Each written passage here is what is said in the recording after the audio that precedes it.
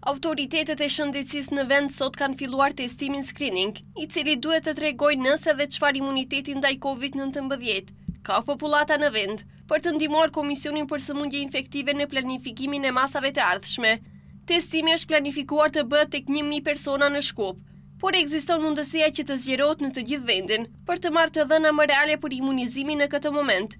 Kryetari i Komisionit për Sëmundje Infektive Aleksandër Petliçkovski, disa ditë më parë informoi se testimi i tillë është bërë para një viti dhe ka treguar se rreth tridhjetë për qind e të testuarve kanë qenë seropozitiv, respektivisht kanë pasur imunitet, që ka ardhur ekskluzivisht për shkak të sëmundjes. Ndërsa ministri i Shëndetësisë Bekim Sali ka njoftuar se do të realizohet edhe analizë serologjike në të gjithë territorin e vendit, Sipas ministrit kjo analizë do të tregojë se sa është e vaksinuar popullata e Maqedonisë së Veriut, sa persona kanë kaluar virusin dhe në bazë të këtyre rezultateve do të ketë pasqyrë më reale. Ndërkaq, vaksinimi në Maqedoninë e Veriut vazhdon me një tempo të ulët, të imunizuar janë dyzet e një për qind e popullsisë, por sipas të parit të shëndetësisë, kjo përqindje mund të rritet, për shkak që gjashtëdhjetë për qind e popullsisë kanë fituar imunitet në mënyrë natyrore.